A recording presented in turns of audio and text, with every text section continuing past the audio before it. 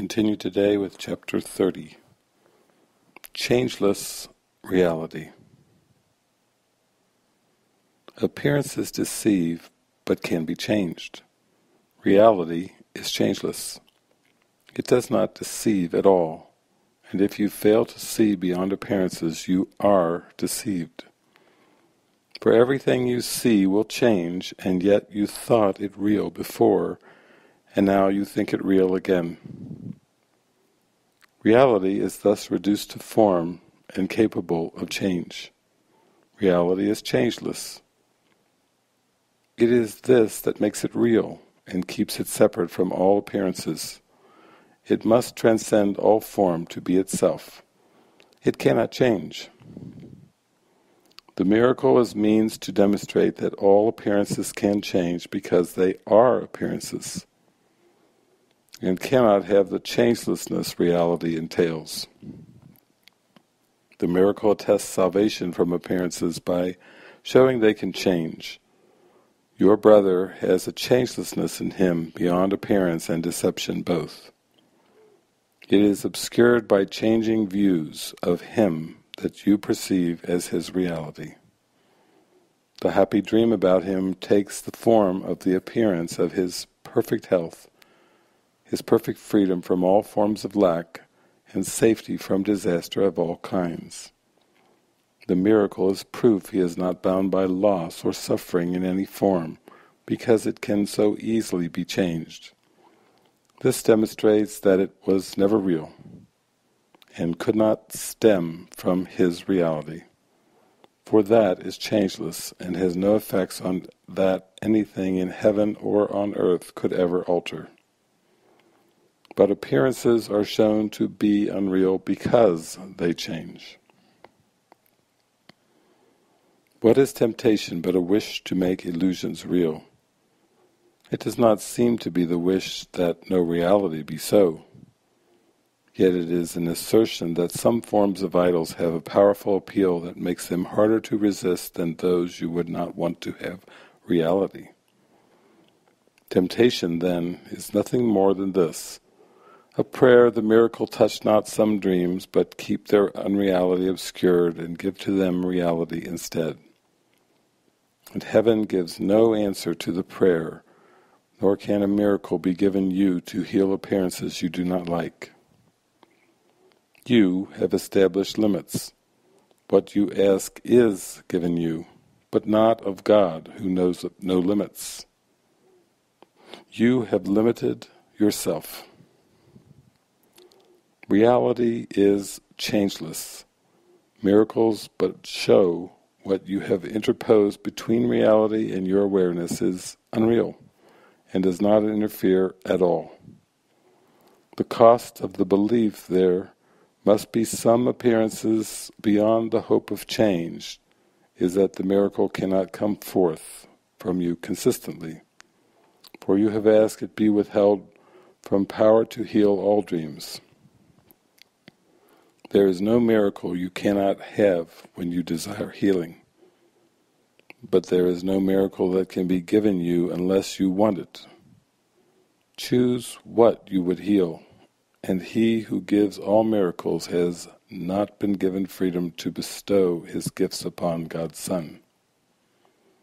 When he is tempted, he denies reality, and he becomes the willing slave of what he chose instead. Because reality is changeless, is the miracle already there to heal all things that change, and offer them to you to see in happy form, devoid of fear. It will be given you to look upon your brother thus, but not while you would have it otherwise in some respects. For this but means you would not have him healed and whole. The Christ in him is perfect, is it this that you would look upon? Then let there be no dreams about him that you would prefer to seeing this. And you will see the Christ in him because you let him come to you. And when he has appeared to you, you will be certain you are like him, for he is the changeless in your brother and in you. This will you look upon when you decide there is not one appearance you would hold in place of what your brother really is.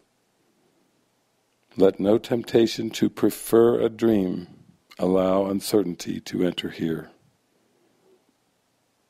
Be not made guilty and afraid when you are tempted by a dream of what he is, but do not give it power to replace the changeless in him in your sight of him. There is no false appearance but will fade if you request a miracle instead. There is no pain from which he is not free if you would have him be but what he is. Why should you fear to see the Christ in him?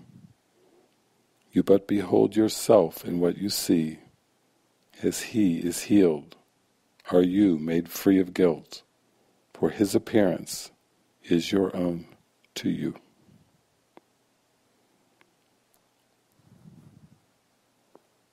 From the workbook What is the world?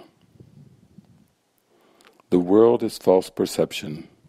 It is born of error and it has not left its source. It will remain no longer than the thought that gave it birth is cherished. When the thought of separation has been changed to one of true forgiveness, will the world be seen in quite another light, and one which leads to truth, where all the world must disappear and all its errors vanish. Now its source has gone, and its effects are gone as well.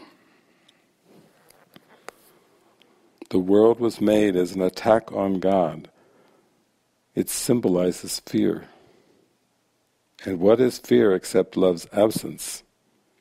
Thus the world was meant to be a place where God could enter not, and where his Son could be apart from him. Here was perception born, for knowledge could not cause such insane thoughts. But eyes deceive, and ears hear falsely. Now mistakes become quite possible, for certainty has gone. The mechanisms of illusion have been born instead, and now they go to find what has been given them to seek. Their aim is to fulfill the purpose which the world was made to witness and make real.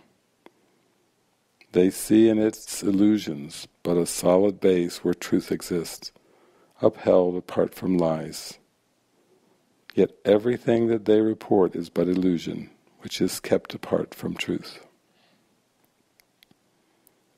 As sight was made to lead away from truth, it can be redirected. Sounds become the call of God, and all perception can be given a new purpose by the one whom God appointed Saviour to the world. Follow his light, and see the world as he beholds it.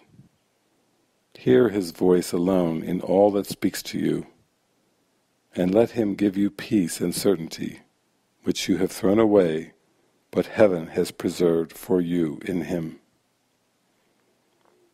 Let us not rest content until the world has joined our changed perception. Let us not be satisfied until forgiveness has been made complete.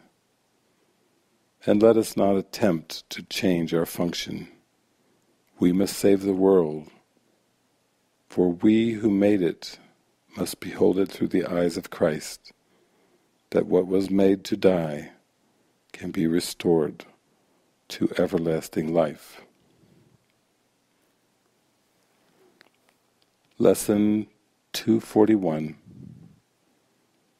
This holy instant is salvation come. What joy there is today it is a time of special celebration, for today holds out the instant to the darkened world where its release is set.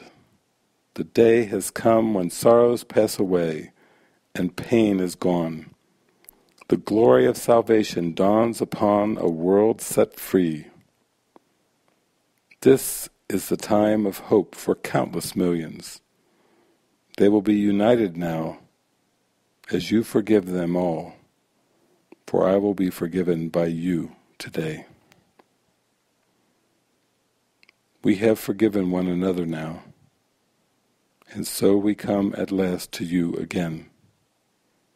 Father, your Son, who never left, returns to heaven and his home. How glad are we to have our sanity restored to us, and to remember that we all are one. Amen.